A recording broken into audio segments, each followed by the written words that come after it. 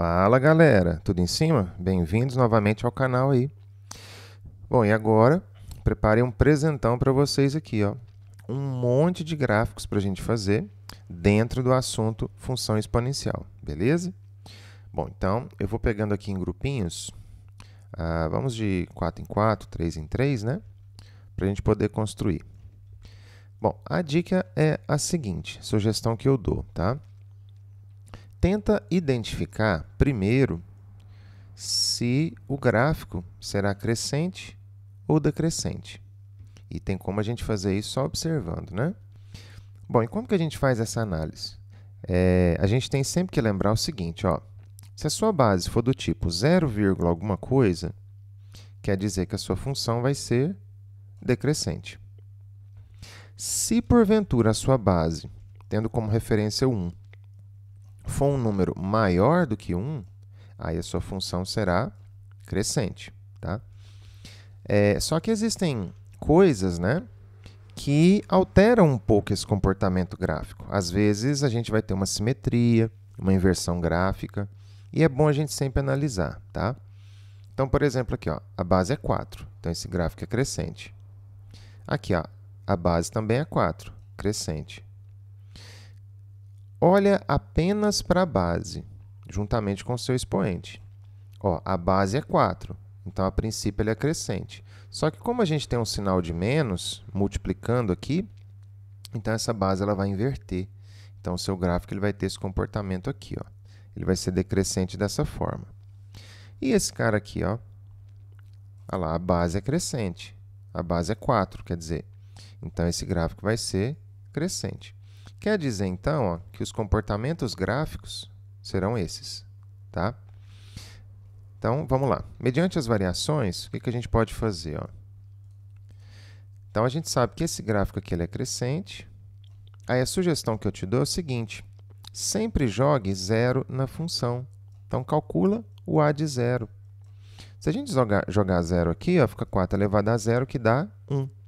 Por quê? Porque você já sabe onde está o seu coeficiente linear. E como aqui não está somando nada, ou seja, é mais zero, esse número que está aqui, sozinho, nesse termo independente desse expoente de x, sempre vai ser o local onde o gráfico vai tentar alcançar, seja saindo dele ou chegando nele. É a nossa assíntota. Então, como é zero, então vai ser o eixo x, o próprio. Tá? Muitas pessoas gostam de colocar pelo menos mais um valor para ver assim o quão rápido esse gráfico sobe, né? Então, sei lá, joga x igual a 1.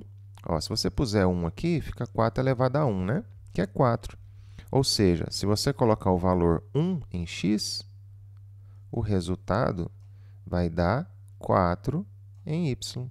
Olha lá. E aí, o interessante é a gente fazer aquele tracejadinho assim, né? Para deixar a coisa bem ligadinha, tá certo? Então, tá lá o gráfico de A de x. Vamos agora a do B. Então, independente do que acontecer, jogue zero na função. Gente jogar zero aqui, ó, o expoente vai ser menos 2, ou seja, 4 elevado a menos 2, que dá 1 sobre 16, né? porque isso aqui é 4 ao quadrado embaixo, né? o sinal de menos ele remete a isso. Então, vai ficar 1 sobre 16. Então, essa aqui é uma função crescente que vai cortar no 1 16 avos. Ó. Como está mais zero ali, então quer dizer que ele vai tentar sair do eixo x. Vamos jogar mais um valor, só para ver o quão né, esse gráfico cresce. Eu vou jogar 2. Por quê? Porque vai dar zero no expoente, fica facinho, né? Ó, se jogar 2, 2 menos 2 é 0, 4 elevado a 0 é 1. Então, se eu jogar 2, o resultado vai ser 1.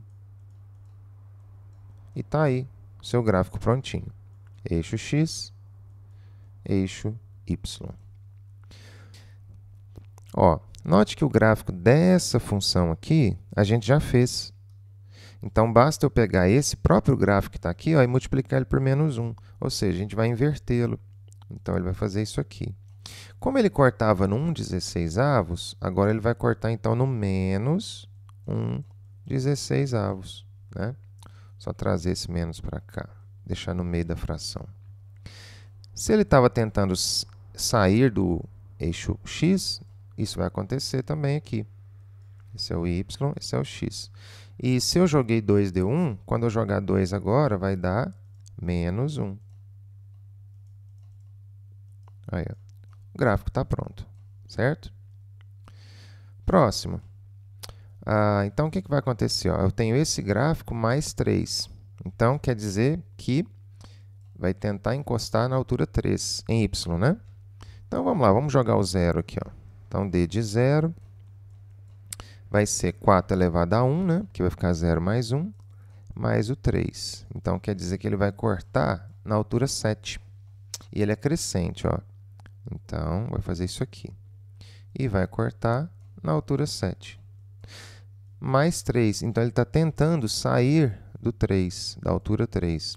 Então, a gente constrói aqui um eixo imaginário, que é chamado de assíntota, na altura 3. Olha lá. Então, o eixo x está aqui embaixo, né? Vamos jogar mais um valor aqui. Eu vou jogar menos 1, por quê? Porque o menos 1 vai ficar zero no expoente, né? Aí 4 elevado a zero é 1. 1 mais 3, 4. Então, se eu jogar menos 1, o resultado vai dar 4. Ó. E está aí os seus gráficos dessas primeiras quatro funções exponenciais, ok? Vamos fazer mais. Vamos fazer desses daqui primeiro para finalizar esses com a base 4. Então, olha só. Função crescente.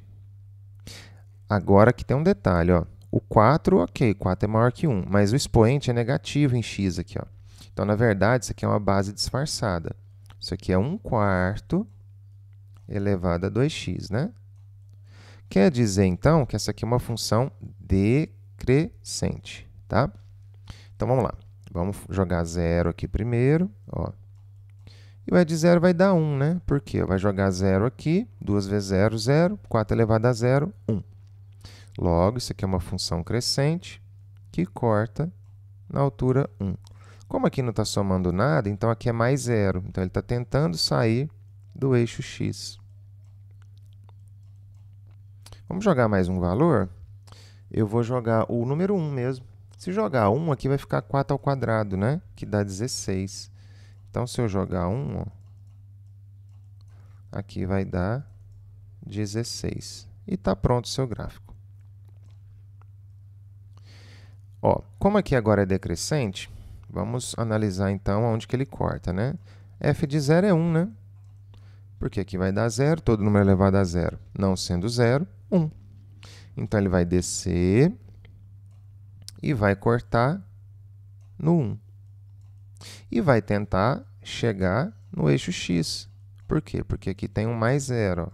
Está vendo? Vamos jogar mais um valor? Eu vou jogar o menos 1. Se eu jogar menos 1 aqui, ó, vou jogar aqui no original, tá?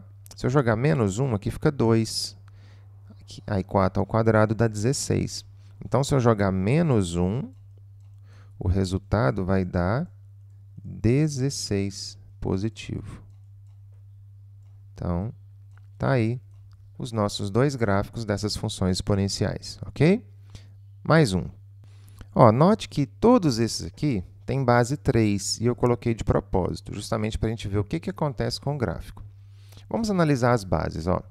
Aqui é o número 3. Só que essa base, na verdade, é um terço, né? Porque, ó, tá vendo aqui no x? É negativo. Então, na verdade, isso aqui é decrescente, tá? Ah, então, ela vai fazer isso aqui, ó. Bom, aqui aqui está escrito 3. Aqui tem um negativo no expoente, então, na verdade, isso aqui não é 3. Isso daqui é um terço, né? Então, ele seria decrescente. Só que como tem um menos aqui multiplicando, então ele vai ser simétrico. Então, ele vai fazer, na verdade, isso aqui. Ele vai crescer de baixo para cima, com essa concavidade aí para baixo ok? Então, esse aqui vai ser assim. Ó, ó aqui está escrito 3, concordo. Só que aqui também ó, é menos x no expoente. Então, na verdade, essa base é um terço. Se ela é um terço, decresce. E aqui é a mesma coisa. Ó, né? Eu mantive aqui a mesma ideia, então aqui também vai ser decrescente. Então, nós temos três decrescentes e um crescente aqui, tá certo?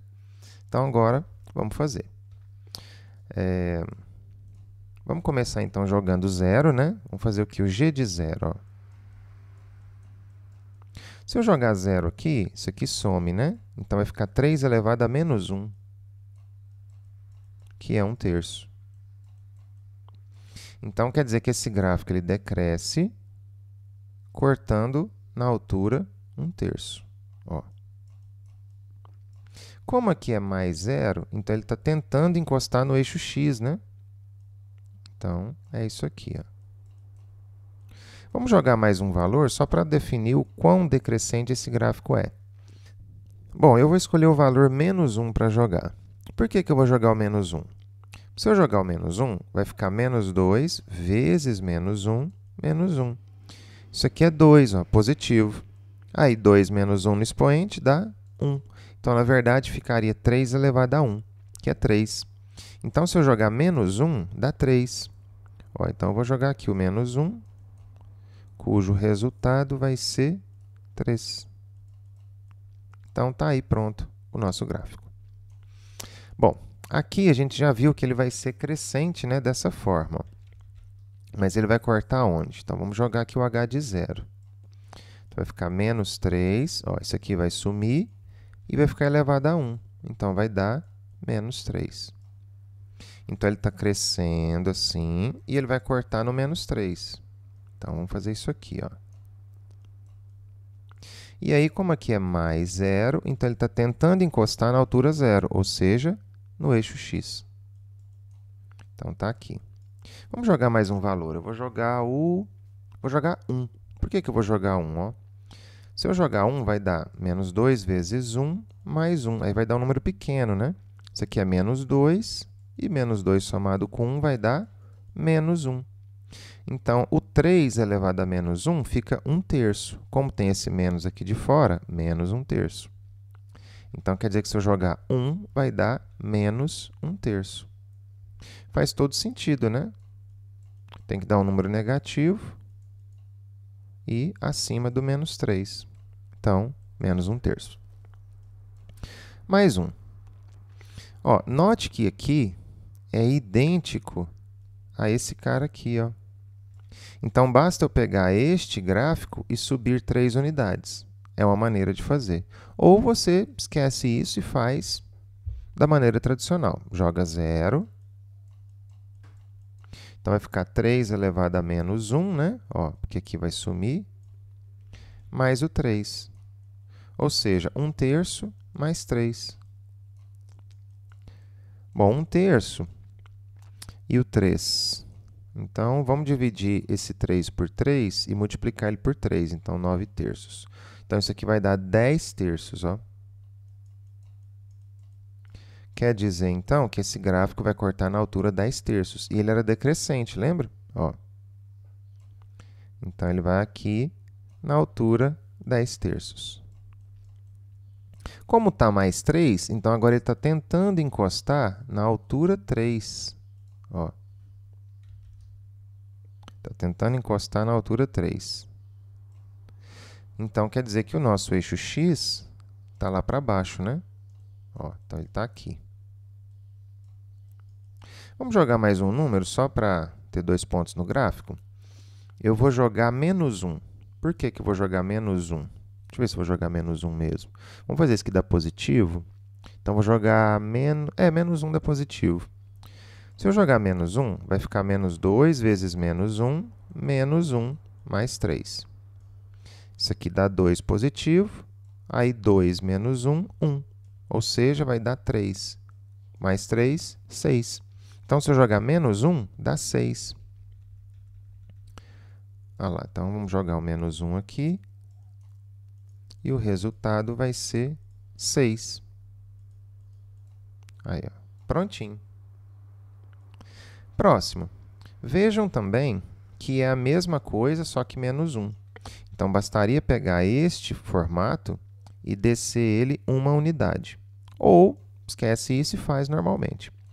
Então, vamos lá, j de 0, 3 elevado a menos 1, né? Porque isso aqui vai dar 0, menos 1. Ou seja, isso é 1 terço menos 1. Bom, se isso é 1 terço, então vou fazer esse 1 virar 3 terços. Aí 1 menos 3, menos 2 terços. Então, quer dizer que isso aqui é um gráfico decrescente, cortando na altura menos 2 terços. Opa, tortou. Aí. Menos 2 terços.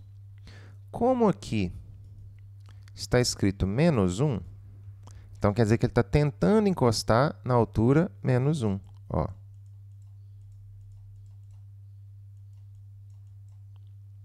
Bom, só que se isso aqui é menos 1 e isso aqui é menos 2 terços, então quer dizer que o eixo x está acima disso, né? Que o eixo x é altura zero. Ó. Então, aqui está o eixo x. Ah, então quer dizer que esse gráfico agora ele tem uma raiz. Ó. Essa função tem raiz e a gente precisa determinar ela. Para determinar a raiz de qualquer função, basta pegar a função e igualar a zero, independente de quem ela seja. Bom, então, esse 1 vai para lá, né? Então, vai ficar 3 elevado a menos 2x menos 1, que é igual a 1. E agora eu faço a seguinte pergunta. 3 elevado a quanto que dá 1? Zero, né? Então, quer dizer que o expoente que está lá no 3, ó, então, menos 2x menos 1 tem que ser zero. Passo 1 para lá, então isso dá 1. Passo menos 2 dividindo, então x vai ser menos meio. Ué, negativo? Sim, olha o lado que ele está aqui do eixo, né? Então, a sua raiz é menos meio. Aí, ó, então o gráfico está pronto. A raiz é menos meio, coeficiente linear é menos 2 terços e a assíntota menos 1, certo? Bora para mais?